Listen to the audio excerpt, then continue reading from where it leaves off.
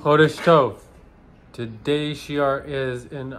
blessed memory of Rabbi Meir ben Mordechai, the Rebbe's Mashpach, and the Gabbai at 770, who passed away yesterday, the 29th of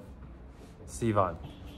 All right, this is talks from the fifth day of Parsha Korach and the second day of Rosh Chodesh, Tammuz, 5751 of the Rebbe, translated from Yiddish.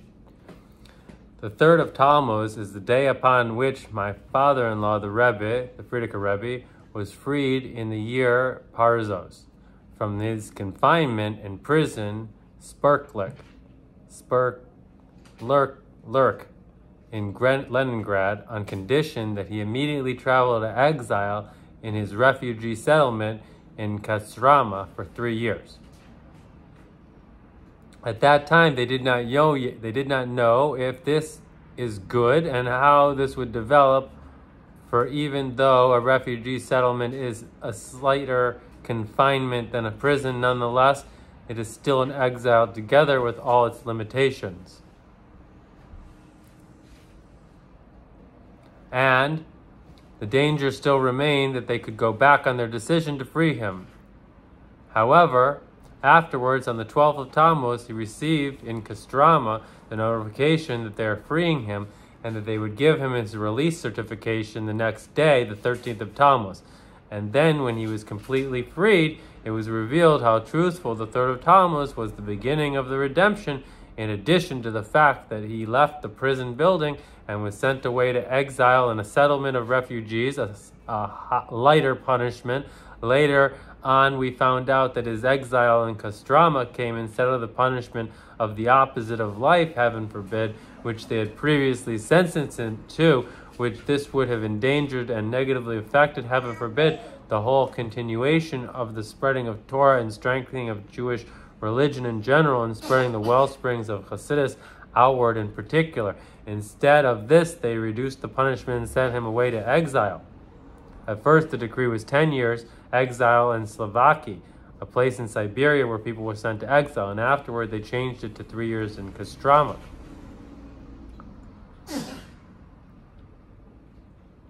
to the extent that this led to the complete freeing him on the 12th and 13th of Tammuz, and because of this miracle, this day was established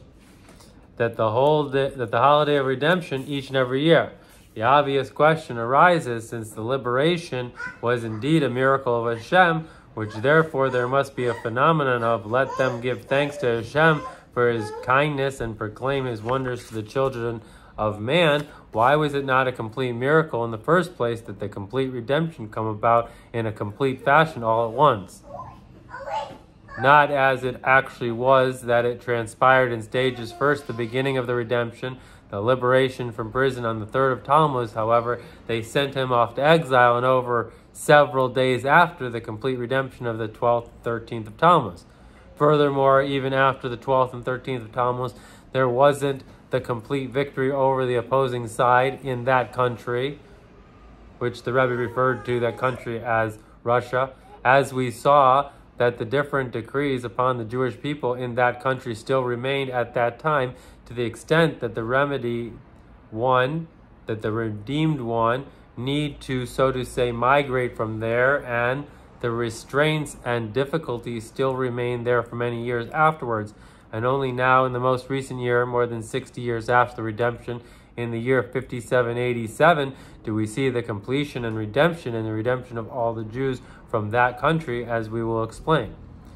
Which certainly the fact that this events transpired, that the events transpired specifically in this order, namely that the redemption came about in stages, is by divine providence with a reason behind it.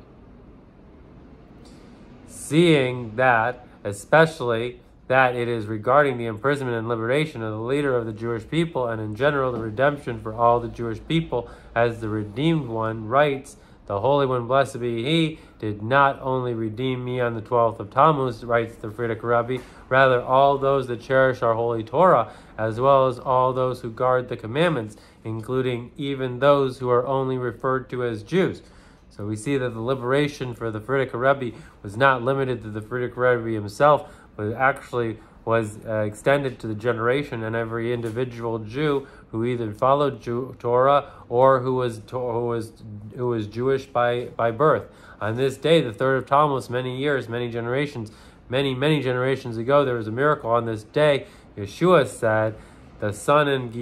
Givon shall stay still," and the sun stood still until the nation avenged its enemies. Being that everything is by divine providence. And every year, the matters which took place in the past year repeat themselves the same as they took place the first time. We must say that there is certainly a connection between the two miracles which took place on the third of Tammuz. The sun of Givon shall stay still, and the beginning of the redemption of my revered father-in-law, the Rebbe, as we shall soon explain. Now, similar to the above question regarding the third of Tammuz, why it wasn't a miracle of complete redemption in the first place. Likewise, explanation is needed given the miracle of the sun of Givon shall stay still. Since a miracle took place and such a great miracle like holding up the sun from setting, which this is of the greatest miracles which have ever taken place, to the extent that the verse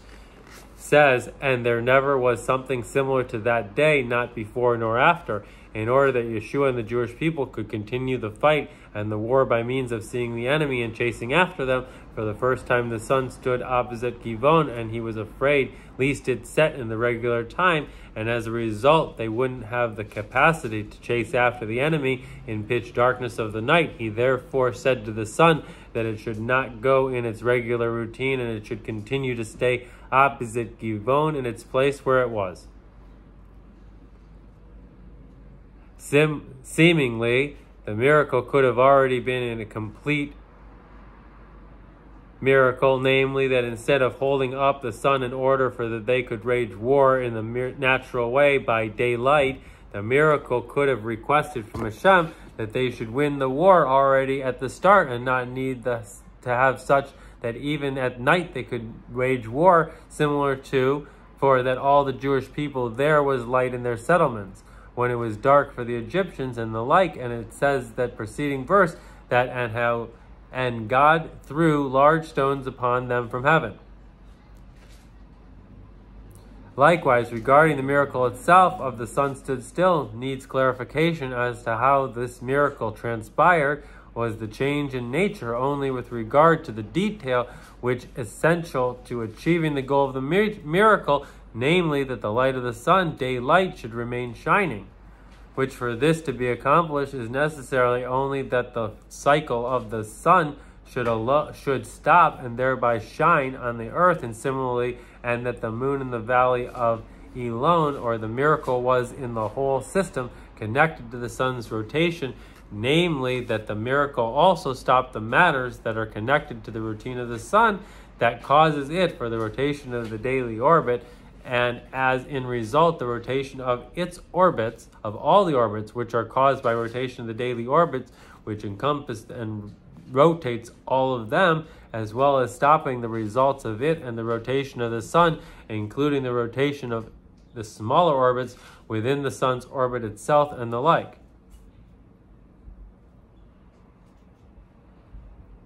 The difference between these two possibilities was it is a miracle which shatters, breaks nature through stopping only the sun and moon alone, or a miracle which affects the nature of the sun and automatically the whole order of the nature, natural rotation of the sun, as well as the connection with the rotation of all the orbits. We may say that this correlates with two. And more specifically, this has three categories that even at the time of the miracle, the things remained as it is normally noted that during the plague of the blood, a barrel full of water, a Jew drank water from it, while at the same time the same water was blood for Egyptian. It is like the miracle of the splitting of the sea, in which the miracle effected a change in the nature of the water, that they shall be like a wall of stones. However, in essence, the water didn't change to dry land, which therefore Hashem had stopped the wind for a moment. The water would have started to flow again. The miracle effected change in the nature of things, as with the miracle of Moses, hand had leprosy as white as snow. and note the three ways of explaining how Moses didn't eat or drink for 40 days.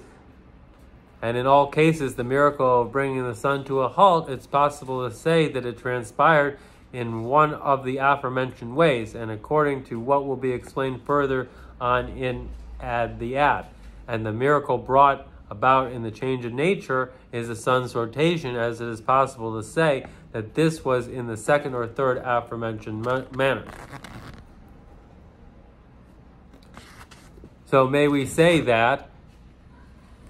this correlates with the two categories of miracles the miracle that does not change the nature of things, as with the miracle of the plague of the blood, that when the water turned into blood, they remained water. In essence, as a result, when the miracle was stopped, automatically the change of water,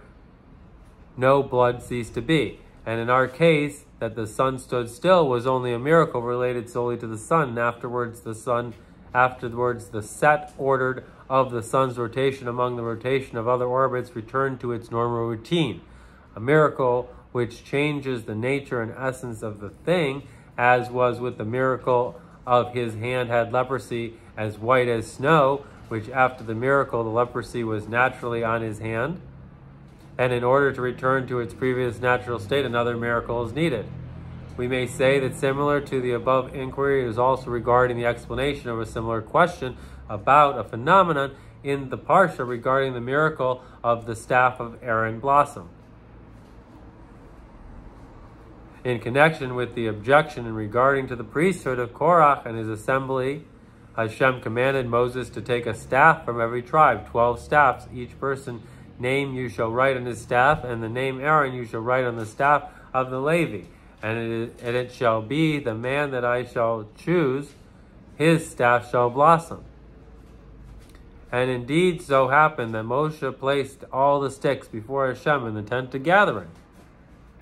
And the, and the next morning Moshe came to the tent of gathering, and behold, the staff of Aaron, for the tribe of Levi blossomed. Indeed, it flowered, budding, and produced almonds. And Moshe brought out all the staffs so that all the Jewish people could see them. Therefore Hashem said, Return the staff of Aaron before the ark to be put as a safekeeping, as a sign for the remembrance that I chose Aaron the Cohen. We must understand that since the miracle of the staff of Aaron blossomed was a miracle to prove that the Holy One, blessed be He, chooses the priesthood of Aaron, seemingly it would suffice that completely, completely grown almonds appear on the staff,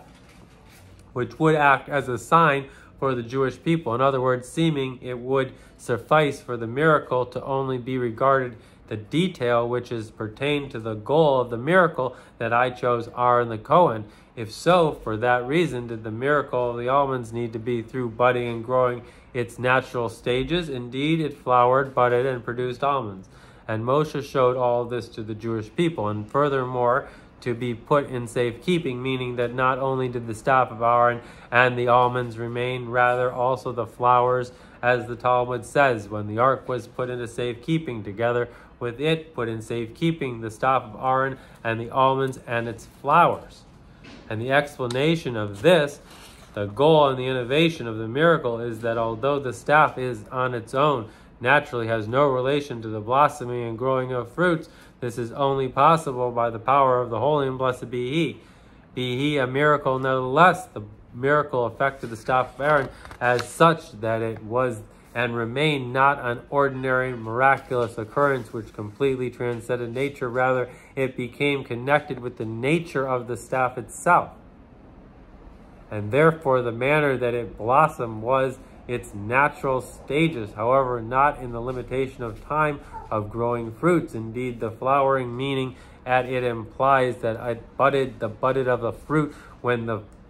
flower falls off and it produces almonds when the fruit were apparent. It was recognizable that they were almonds. And this showed that the Jewish people, that the that Hashem's choosing of Aaron the Cohen is as such that the priesthood becomes his natural virtue which consistently remains by Aaron and his children, being in, in being it is inborn in them. And similarly is also the explanation of the miracle, the sun of Givon shall stay still, and the miracle of the thought of Tammuz, as we shall explain. May we say the explanation of this our sages say every single thing that Hashem created in this world created it only for his honor, meaning that everything in this world, although Olam world comes from a term of Elam, concealment, it cre- is created in is is created in order to reveal the honor of Hashem. And this is accomplished through the service of a Jew who utilizes the matters of the world for the honor of Hashem. And the reason and certainty for this fact is alluded to the wording of the Mishnah, every single thing that Hashem created. Since Hashem proclaimed that his, in his Torah that Hashem created, that he created the thing and made known how he created it, and he created it in a way that he used, so to say, his powers and his time and the six days of creation to create every creation with an exclusive power, the power of creating something from nothing, which is only the power of the essence of Hashem, and especially in accordance with the Torah, inside of the Baal Shem Tov, that the creation of the universe is renewed every second, every single second, literally from absolutely nothing. This proves that Hashem desires that the creation shall have a connection to their power of the Creator Hashem to the extent that they can add, so to say, in the honor of Hashem. For it not, for if not, the question arises, why did Hashem create the world? Not a removed manner that the creation does not know that Hashem created it, and does not know the manner of the creation with the ten utterances, rather, in a manner that he put it, his essential power, as well as the ten utterances, into the creation. And furthermore, why did he create the world as such that he creates it in every moment anew? Seemingly, he could have created it with such a strong power that through the creation of the first time, the world would have the ability to last for 6,000 years and not necessitate being created anew every moment with the wound, with the word of Hashem. And may we say, the reason for this, since Hashem wants every creation to feel how he how he accomplishes for him, for through him is accomplished an addition and innovation, which then the nature of the humankind that a person desires the kav. He puts forth the effort to acquire, however, the nine kavim of his friends. In other words, in addition to the fact that he fulfills what Hashem commanded him to do, he, so to say, adds a phenomenon from his own part. and a true addition when he is connected to Hashem thereby reveals the honor of the Holy One, blessed be He. For this reason, Hashem placed His power of creation into the world, and in a way that He creates it continuously every moment anew, since this connects every creation, every single moment with Hashem, in and, that in each and every detail and in every single moment, the creation has the ability to reveal the honor of Hashem anew, namely the word of Hashem, which revered, which revived it this very moment anew.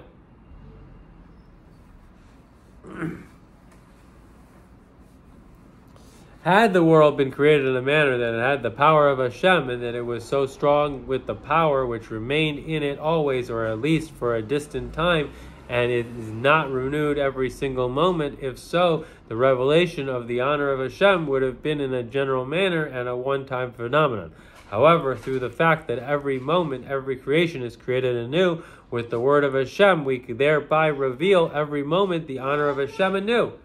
For example, through drinking water, a Jew makes a blessing that everything is created with his word, and thereby reveals and the, the addition and the innovation which the water achieves, since without the water he does not say the blessing. In revealing the honor of Hashem, that everything is created with his word. This, the word of Hashem, which brought the water into existence anew, and that everything is created with his word, this reveals the word of Hashem in all creations. And when he drinks water on water later on and makes another bracha, he this thereby reveals a new word of Hashem. This word, which is in, then infused in him, the one making the blessing, and in the whole world, and similarly through a specific blessing, who creates the fruits of the vine and the like, reveals the new word of Hashem in all the fruits of the vine throughout the world, and so forth. And similar to this, with the blessing of the seeing recited over the works of the worlds of the world's creations, and the like. Blessed is he who makes the works of the world's creation. Blessed is he whose power and might fill the world, which through this, these works of the world's creations, reveal the honor of Hashem for the whole entire creation, that the works of the world works works of the world's creation. And note that recently we have heard and seen in this city thunder and lightning, which upon them the aforementioned blessing are recited. Similarly, we are, is also regarded the miracle of the staff of Aaron blossomed, that the miracle which took place in order to reveal that I chose Aaron the Kohen affected the staff of Aaron's of Aaron, that it, the miracle, came about and remained connected to the nature of the staff, and such that the manner of the blossoming was the nature of the stages of growing fruit, which the whole gradation with the whole gradual progression of this occurs, indeed it flowered, budded, and produced almonds. And when we say, in the terms of Chassidus, the connection of this concept specifically with the priesthood, the innovation of priesthood, the priestly bracha, is that it draws forth a level of godliness from above the gradation descent of the, vivify, of vivifying powers of Hashem, and therefore it is connected to swiftness. Most swift does not does his word come forth, which from this reason the sign for Hashem choosing the priesthood of Aaron is specifically with almonds, since they are the quickest fruits to become completely grown, quicker than any other fruits, in 21 days, quicker than all the other fruits. And in our case, the swiftness was not in 21 days, rather overnight, since the acceleration and swiftness signifies the flow of godliness which transcends the gradual descent of the vivifying powers of Hashem, a flow that comes through the gradua- graduation, descent, delays and waits before it is drawn forth and descends below. This is because at every descent from one heavenly chamber to the next chamber, there is a judgment as to if it's deserved of this revelation, whereas regarding the priestly bracha that flows is drawn forth swiftly through all the worlds, without any interference or delay. On the other hand, the swift flow from a level above, the graduation descent, is drawn through all the worlds as as emphasized by the miracle of the staff of Aaron blossoming that together with it being a miracle that it came swiftly, also it was connected and went through the natural phase of growing fruits. And may we say and add to the above explained the connection of this with the Torah portion of Korach, in particularly, this will be understood by prefacing that Korach and Chukas, the following Torah portion, are both made up of the letters Hok, in statue, only the regards to Korach, a resh is added, and Hukas, a sav. Uh, Sov, Korach from the tribe of Levi had the revelation of Hok, a service, a manner of the above reason. The comprehension is explained in Chassidus that the objection of Korach was a result of his virtue. He was wise and he saw the revelation of godliness transcending limitation, as will be uh, in the time to come. This his mistake in disputing the priesthood of Aaron was in respect to Resh, Rash, poverty, which shows that the drawing forth from God Almighty, thought and speech, the spiritual world does not descend to physical world through the gradation, graduation, gradual, gradational, gradational descent. Korach wanted to defy the spiritual realms and the lowest realms as symbolized in the structure of the letters resh, which symbolizes the as, which lacks the third line of the letter hey, which symbolizes the aspect of action alluding to the physical world. In other words, a resh is like this, with a, a top line and a, and a side line, uh, but no hey below the uh, left side of the resh like a hey does. No line coming down, which alludes to the action. Whereas regarding to hukas, this is hukas, the statute of Torah from hok, a level transcending limitation is drawn forth into the letter ta, saf, um, the end and culmination of the 22 letters of Torah, meaning that it is drawn in the letters from aleph until saf. And in all these three lines, realms, the letter Sav of the thought, speech, and action, the Torah's the Torah godly service and acts of kindness. Moreover, in a manner that they all become united, since at the end, the complete service, when we have the swiftness of the holiness from the flow that transcends the graduational descent, yet it comes through a graduational descent, the unification of all three lines is accomplished that from the above corresponding to the thought and speech, we come immediately and swiftly to the below action without any interruption between them, not as in the letter Hey, and then we reach the dot above, we reach the dot below the left line of the letter Sav, which alludes to the point of the self nullification, and in our case, it is a big dot having length and width, meaning that the self nullification comes together with the ex expansion of length and width, it permeates the whole being of the person, including his understanding. And this comes at the conclusion of the letter, which represents the completeness of the point of the self nullification attained with complete service. And through this, the concept of hukas is achieved. Hukas also is an idiom of hakiko, engraved, which represents an eternal flow without change, connected with the letter sav as the word of our sages, the letter Sav symbolizes Tehei. You shall live. Tehei. You shall live, which is comprised, completeness is eternal life. According to the above explained, we may also explain the miracle that the sun in Givon shall stay still. The intention of this miracle was not to was not to entirely have the ways of nature, rather, was not entirely to leave the ways of nature, rather, as in most matters, the miracle shall assist them in winning the war, which also has to connect it at least a little bit with the ways of nature, even regarding the war, which Hashem fought for the Jewish people, there had to be a vestment in the ways of nature as well. Therefore, there wasn't a miracle that completely eliminated the war in a natural way through Yeshua. Rather, there was a miracle which assisted their waging of war. The preparation and the foundation of the victory was through the miracle of the sun of Givon shall stand still. However, it's, it itself did not accomplish the victory. Once the natural light of the sun from the sun's light was shining, Yeshua and the Jewish people needed to chase after and wage war with the enemies in a natural way. And according to this, seemingly it makes more sense to say that the miracle itself, that the miracle itself of the sun of Givon shall stay still was in a manner which is connected to the nature of the rotation of the sun. The second possibility aforementioned in chapter 2, and this brought to halt not only to the sun, moon, sun and moon, rather to all the stars in the zodiac symbols, as well as the rotation of the daily orbit in general, including all the orbits which are connected to the rotation of the sun.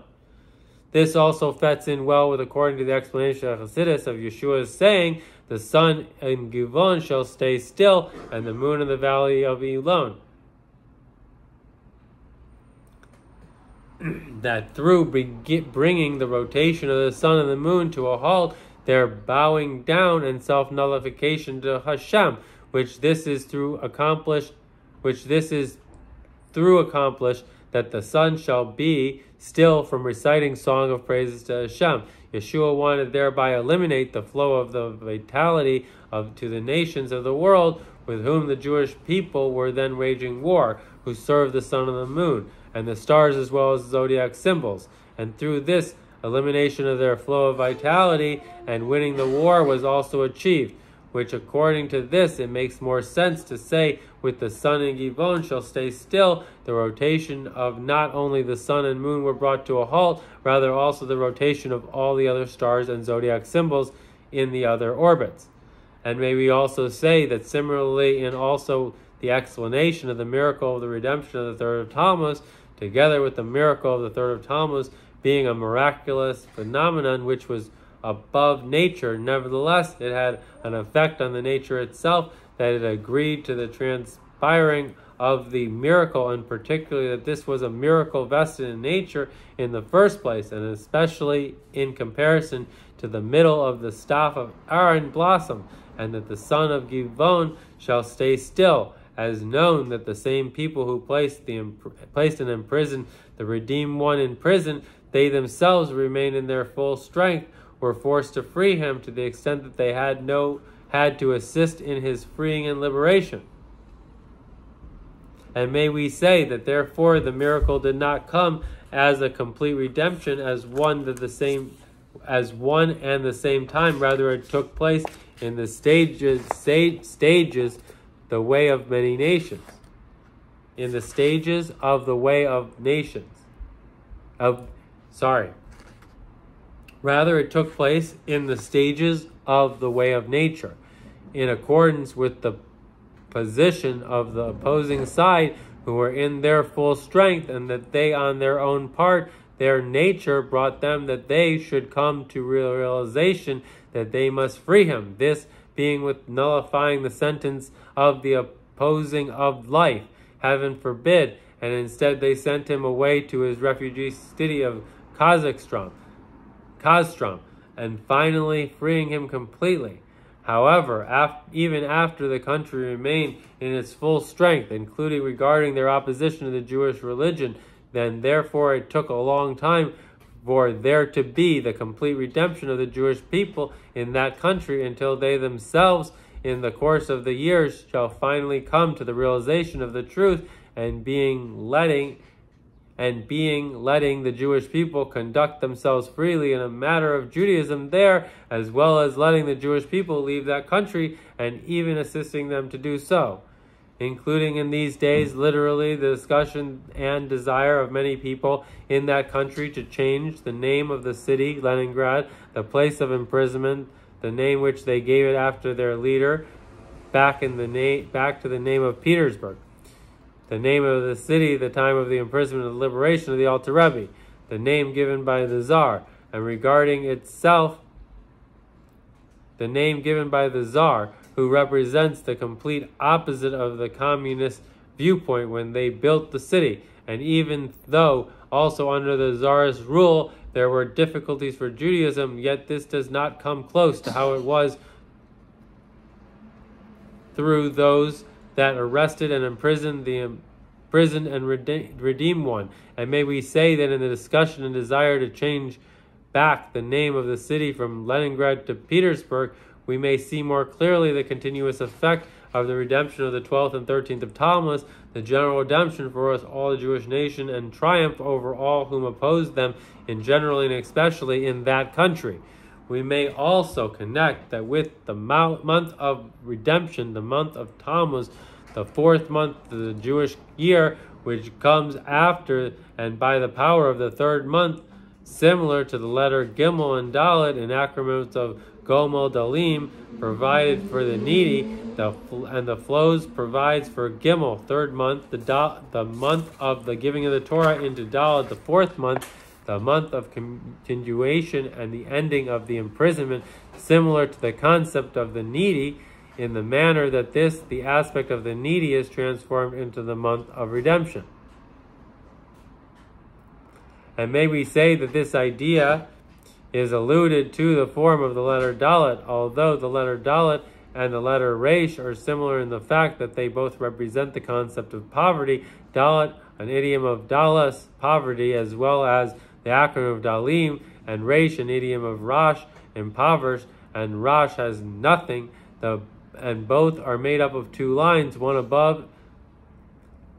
widthwise and the other longwise from above to below, yet there is a fundamental difference between them. The letter Dalet has a dot, a yud, at the and at its back, which connects the two lines, which is not so for the letter Resh.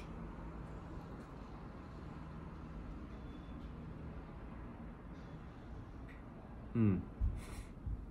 One of the explanations of this analysis is the dot symbolizes the concept of self-nullification, the point of Judaism, which is present in its entirety in every Jew, even when he is in a sense of the back, not on the front side of the realm of holiness. As our sages say, even when one sin, he is still a Jew, since the point of Judaism transcends all aspects of concealment, the higher than the level of the gradation descent and the essential point of Yechida of the soul which connects the Jew with the Holy One above.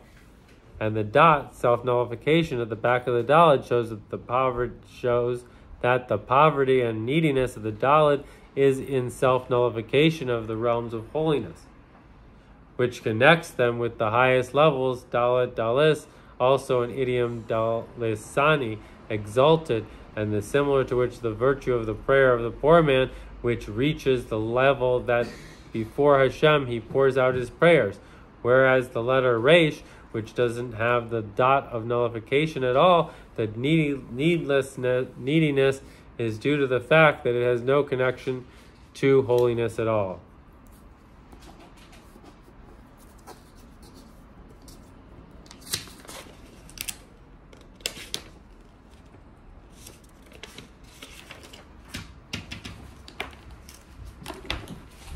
And according to this, we can also explain the difference between the two lines of Resh and the two lines of Dalet and the two lines wide width and lengthwise, including all the levels of the gradational descent, which are divided upon in general into the categories of upper realms and the lower realms. Within the length, the line above with widthwise represents complete broad abundance. However, on the upper level, similar to quality and line lengthwise represents drawing down from above to below to the lower levels. The ultimate godly service is that one has both virtues in unison and the point of self nullification, and as it is drawn and permeates the gradual descent as well as represented by the two lines, when one has both aspects of above and below.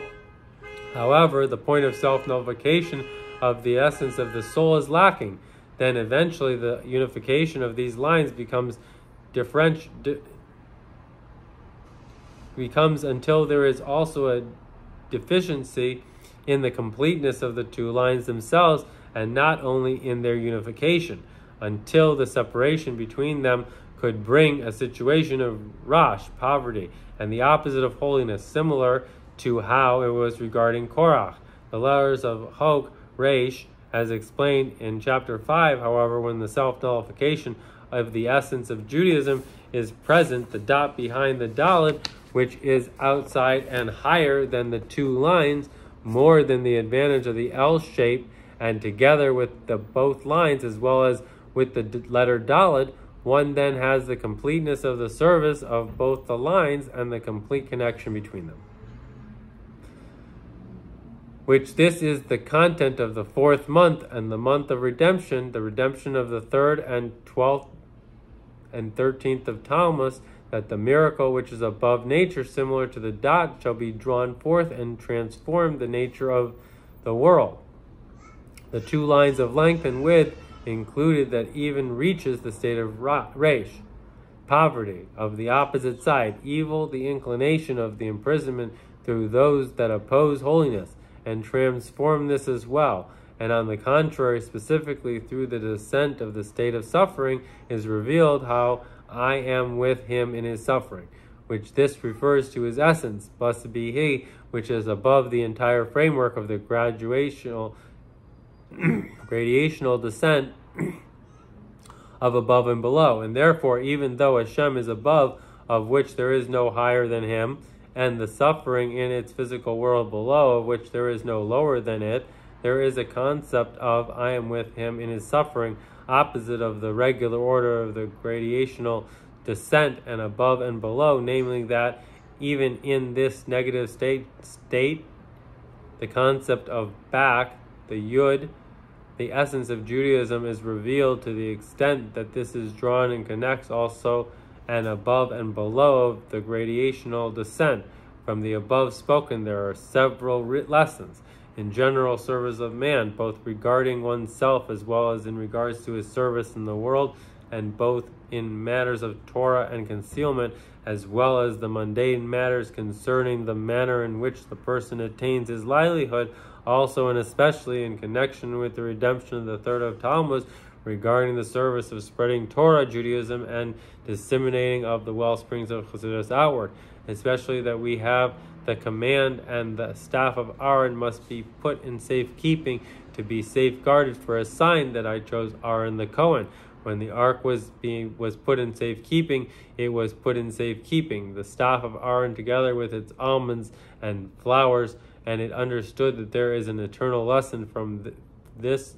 from this for all generations and every Jew, in part from the kingdom of priests, Kohanim Gadolim, grand priests, as the Rambam rules, that not only the tribe of Levi alone, rather each and every person, that his spirit bequeath him to complete dedication, dedicate to completely dedicate himself to the service of Hashem. Behold, he is sanctified with the holiness of the holy of holies, of which only a grand priest can enter. It is also understood that every Jew must have something similar to the phenomena of the staff of Aaron blossom. Indeed, it flowered, budded, and produced almonds. The lesson from this in the general service of Hashem, even though the service of a Jew must be through acceptance of the yoke, which is above reason and a comprehension, and in a manner of swiftness which is above confines and limitations with all your might, and specifically this reaches at the beyond limits of above, may we say that through this can, continues the ultimate service and in the know and in the known terminology we had been commanded to chop wood we would do it. Therefore we have learned the lesson from the staff of Aaron blossom that following the foundation of acceptance of the yoke the essential point which transcends confines and limitations it can and must afterwards spread out in all its inner powers, feelings until it until in his entire existence and nature to the extent that will produce fruit. Indeed, it flowered, budded, and produced almonds, and in such a manner that the nature of nature and existence itself became swift, a swift nature, and above confines and limitations, namely that everything he does with his natural power is with the utmost swiftness and swiftness of holiness.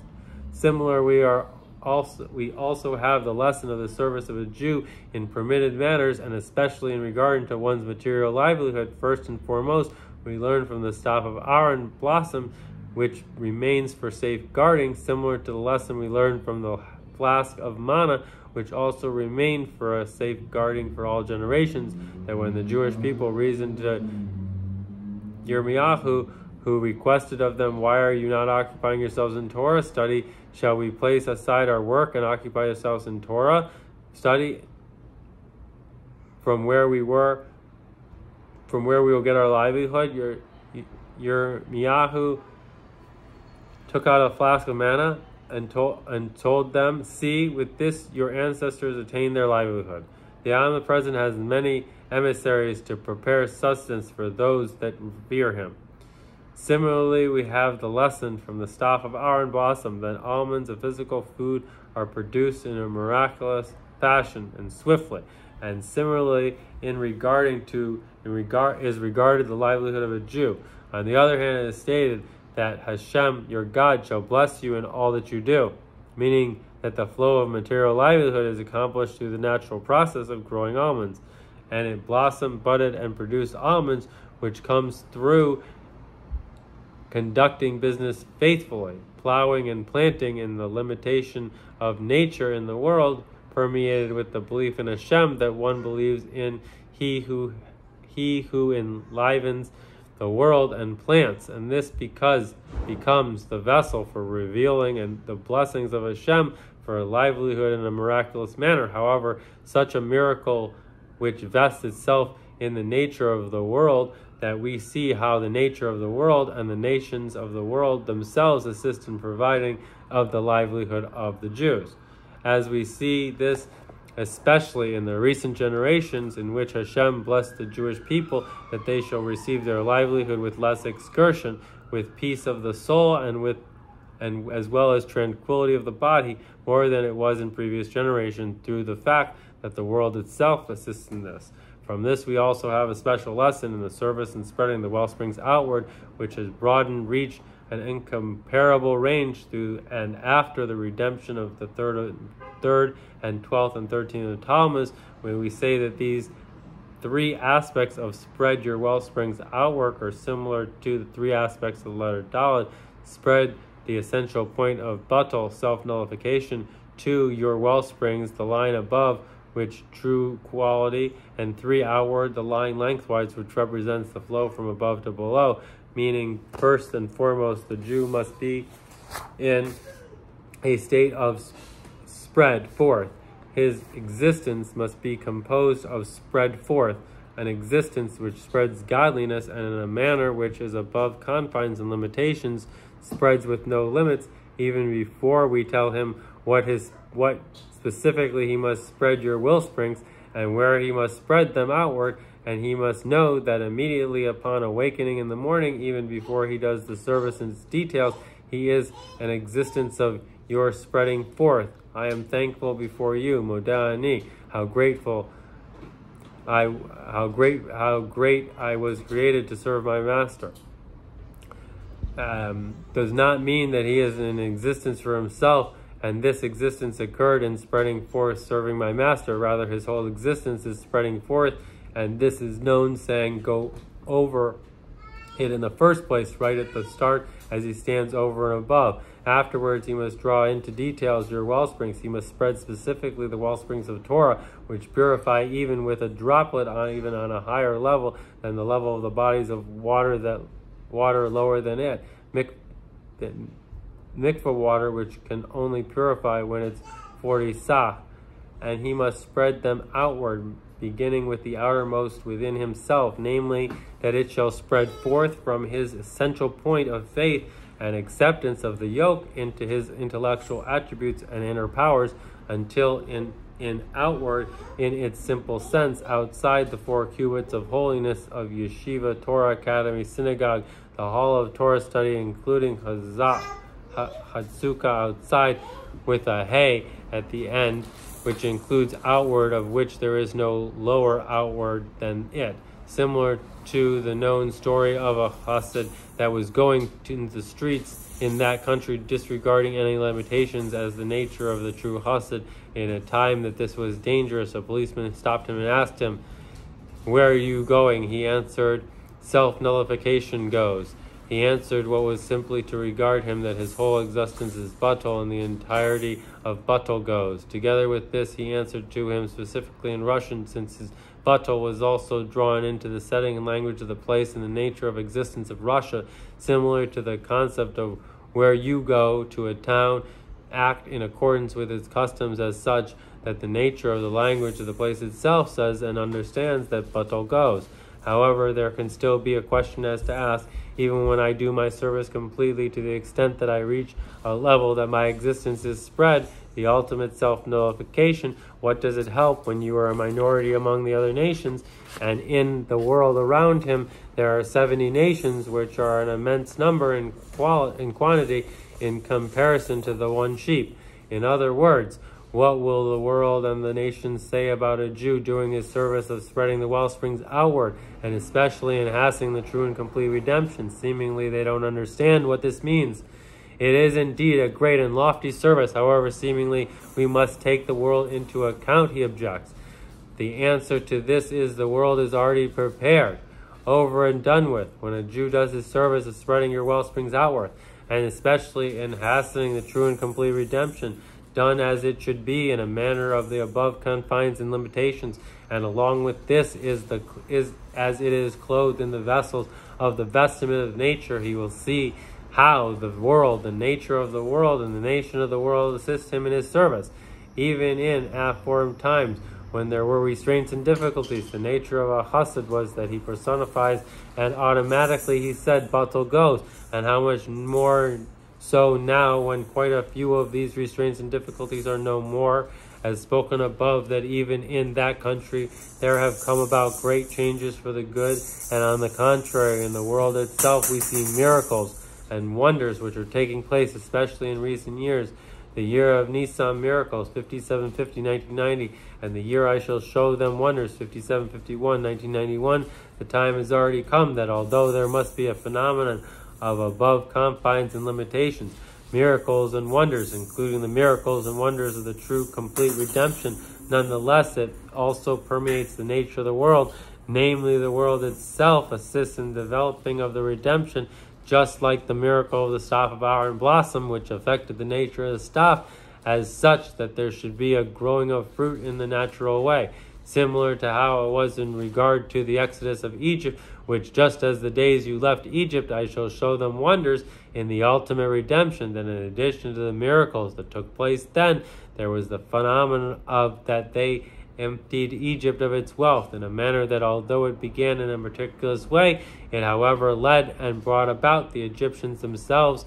assisted the Jewish people in this, and even gave them much more than they asked how much more so in the true and complete redemption when there will be wonders and even comparison to the one where there will be wonders even in comparison to the wonders of the exile exodus of Egypt. In comparison to them the wonders of Egypt will be deemed natural. It will also be as such that the world and nature of the world itself will assist in it. Regarding action coming from the third of Tammuz's to and the, into the days of the redemption of the 12th and 13th of Tammuz, and every Shana, which includes all the Shina Shinayeh variation of times of the year, it appreciates an additional elevation. Every person must add with advanced vigor and great strength in all pursuits of spreading Torah and Judaism, as well as disseminating the wellsprings outward and in a swift manner, knowing that the world itself will assist a Jew in his service, especially presently in the summer time. When children go to summer camps, we must put an effort that Jewish children go to summer camps that are a kosher education, pure, befitting holiness, and that those who are occupied in educating the children must see to truly utilize the summer time in the best way and with the utmost swiftness, utilizing free moments to add both oneself and for the child children in all matters of Judaism with liveliness and joy, and from one matter to the next, in accordance with the customs of some to say, Perkei throughout the Shabbases of the summer, after the Mincha prayer, it is appropriate that time to arouse another time regarding, and especially that this Shabbos is the tenth time we are saying Perkei Avos this year, the six weeks between Pesach and Shavuos, and four weeks after Shavuos until this Shabbos, and that it is recommended, being that it is part of oral Torah, that we should learn at least one Mishnah in depth. And similarly, we should arouse regarding the good custom in many places to re- repeat a Hasidic discourse after Mincha prayer on Shabbos, and may be the will of Hashem that it should be in a manner of hukas that we will soon read from the Torah now as the Mincha prayer. At the Mincha prayer, namely that it should overtake the listeners and bring about them in ch- in change for the good, including in a manner of hakakal, meaning that it is engraved in them, and literally immediately that they should find it, bring the true and complete redemption along with the sacrificing of the tenth red heifer, which will be done by King Mashiach speedily, shall he reveal the main, so that so shall be the will of Hashem. and with our youth, and with our elderly, and with our sons, with our daughters, and all the Jewish people together to the Holy Land, into Jerusalem, the Holy Land and then into the third Mikdash, as is mentioned literally immediately. Chodesh Tov.